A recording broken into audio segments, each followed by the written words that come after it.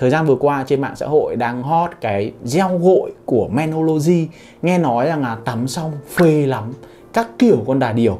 Thế là tôi đã có ở đây hai mùi hương của dòng sản phẩm gel gội Menology để có thể review cho anh em xem có đúng là gội xong thì phê lắm hay không. Bắt đầu nhá sau khi sau khi có được hai sản phẩm này thì tôi nhìn cái lá này tôi nhìn thấy nó rất là quen nó giống cái lá xà cân cần sa một cái nghiệp vụ của tôi. Và tôi đã phải inbox ngay cho bên Menology để hỏi rằng là cái chiết xuất hem này như thế nào và cái uh, cái lá này là lá của cái cây gì. Tại vì ở Việt Nam mình thì uh, xà cân nó vẫn đang bị cấm nó không được hợp pháp hóa như một số nước và Menology có trả lời lại với tôi và tôi cũng có tìm hiểu thêm ở trên mạng. Thì cái chiết xuất hem này nó chiết xuất từ hạt của cây gai dầu. Và cây gai dầu ấy thì nó có cái hình dáng tương đối giống với cây cần sa và nó chung một cái họ lớn đó là họ cannabis thì mình sẽ để cái tên ở phía dưới này để các bạn nào có nhu cầu tìm hiểu hoặc dẫn hẳn một cái link cho, cho các bạn đọc. Ở trên thế giới thì có khoảng tầm hơn 30 nước đã hợp pháp hóa về cái việc sử dụng cây gai dầu sử dụng từ trong cái vấn đề về hạt về chiết xuất và sử dụng trong cái mỹ phẩm này trong thực phẩm và trong kể cả y học để nghiên cứu để chữa bệnh rất là nhiều.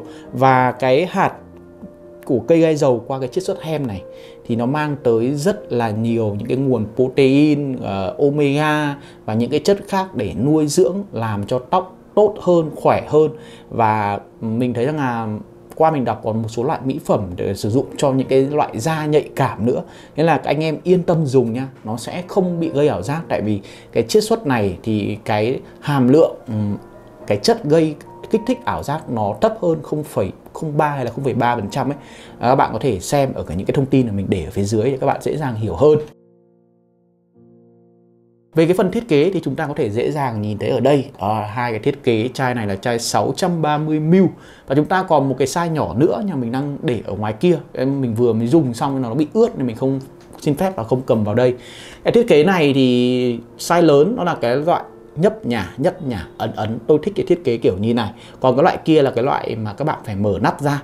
Đó lại là hai size thì nó cũng sử dụng cho hai cái mục đích khác nhau. Mình nghĩ là dùng ở nhà nhiều thì các bạn có thể dùng cái chai này. Còn nếu mà các bạn mang đi kiểu thỉnh thoảng du lịch hay đi công tác thì các bạn có thể sử dụng bằng cái chai kia để cho nó tiện lợi hơn đây mới là phần quan trọng này, đó là về phần mùi hương của em nó. Nhiều người thì ờ, chưa xem cái video mình review về cái gel tắm, đúng không? Thì các bạn có thể xem lại, mình sẽ dẫn link ở phía trên này để các bạn nhìn thấy.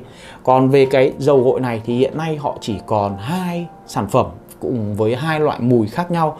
Trước đây ở cái gel tắm thì nó có ba sản phẩm, một cái mùi màu nâu nữa. Cái mùi đấy thì mình cảm giác là nó không được trẻ trung lắm mà nó dành cho các kiểu chú nhiều hơn còn với cái sản phẩm màu xanh lá cây này thì nó có mùi hương giống với mùi của chai nước hoa Quid Aventus nhưng mà ở cái phiên bản ờ, gel gội này, so với phiên bản gel tắm thì ở phiên bản gel gội thì các bạn thấy là mùi nó có cái nét ngậy hơn và mùi hương nó rõ ràng hơn. Và mình nghĩ rằng là cái gel gội này nó là một cái sự cải thiện sau khi mình góp ý với bên Menology. Và một cái nữa, đây là mùi của tiêu và gỗ giống với mùi của TRMS và cái mùi hương của cái chai đỏ này thì mình nghĩ là nó đã thực sự rất là khác, cải thiện hơn rất là nhiều so với cái gel tắm. Tại vì gel tắm mình ngửi nó có, thỉnh thoảng nó bị kiểu hơi lấn cấn, kiểu tiêu tiêu, vỏ vỏ tiêu. Nhưng mà ở đây thì chúng ta nhận được một cái sự mượt mà hơn rất là nhiều về phần mùi rồi. Thế nên nếu như bạn làm phong cách trẻ trung thì vote cho em các bạn dùng màu xanh. Còn nếu mà các bạn kiểu nam tính, các bạn chững chạc hơn một tí thì các bạn dùng màu đỏ. Thêm một cái điều nữa cải thiện ở những cái sản phẩm của gel gội Menology đó là về cái độ lưu mùi. Cái độ lưu mùi cảm giác là nó đã tốt hơn, cái gel tắm rất là nhiều. Em này mấy hôm mình đi đá bóng về muộn, mình gội đầu xong nhá, Thì mình có cảm giác là khi mà mình nằm lên gối thì nó còn lưu được mùi ở trên gối khoảng được đến ngày hôm sau. Và mình để ý rằng là thỉnh thoảng mình có kiểu vuốt tóc các thứ, hay là kiểu sấy lên thì mùi lên rất là rõ, và cái mùi hương này nó lưu ở trên đầu loanh quanh cũng phải được tầm một tiếng. Và các bạn dí sát và các bạn vẫn có thể ngửi thấy, chứ không như kiểu gel tắm. Nhiều khi gel tắm, chúng ta kiểu phải tắm nhiều chúng ta mới có thể cảm nhận được, và nhiều khi nhiều ông feedback ở cái phía dưới những cái video đấy bảo với tôi rằng là cái gel tắm thì em dùng tầm 30 phút ra ngoài là em không ngửi thấy. Nhưng mà yên tâm rằng cái gel gội này nó sẽ làm cho anh em lưu mùi tốt hơn. Nhưng mà anh em cũng cân nhắc khi mà sử dụng những cái sản phẩm uh, uh, sáp hay là kiểu pomade mà có mùi nhá nó sẽ lẫn mùi vào với nhau đấy. Về phần trải nghiệm những cái công dụng như kiểu em xanh này chúng ta có dưỡng tóc và giảm ngứa. Nói thật là tóc mình là một cái tóc khá là khỏe tại vì mình cũng không sử dụng ừ, những cái hóa chất lên đầu như là sấy à đâu, như là làm xoăn hay là kiểu tẩy tóc hay là nhuộm những cái thứ thì gần như là mình không làm. Tóc mình hoàn toàn tự nhiên nên là cá nhân mình thấy là tóc mình nó khá là khỏe. Nên là mình không thấy cái việc là ngứa nhiều lắm.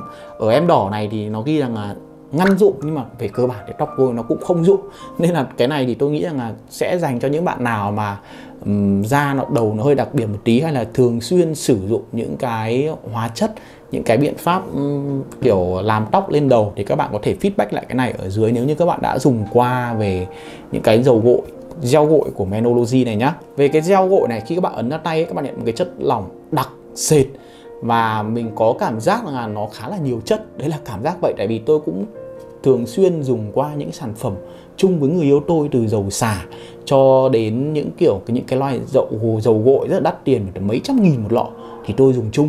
Thì tôi cũng thấy là cái chất lượng của Menology so với những cái loại kia thì nó cũng ngang pheo ấy, tầm tầm đấy.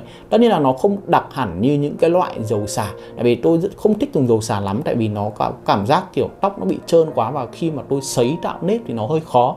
Và một cái nữa mà tôi thấy rằng là Ừ, khi mà tôi dùng những cái loại kiểu dầu dành chuyên dụng cho nữ thì có một cái đó là nhiều khi gội nó không sạch ngay được và phải cần rất là lâu. Em này thì có cảm giác là như kiểu là các bạn dùng những cái loại pomade gốc nước kiểu gốc dầu nhiều chất dưỡng ấy, thì khi các bạn gội thì các bạn cần kiểu dành nhiều thời gian hơn và nhiều nước hơn một xíu nhưng mà cá nhân tôi thì vẫn trên quan điểm là nhanh gọn nhẹ và thơm thì em này nó vẫn đáp ứng đủ. Và nói thật với các bạn một điều rằng là từ năm ngoái tôi chỉ dùng gel tắm của Menology thôi. Đến nay thì đã tầm 3 4 lọ rồi.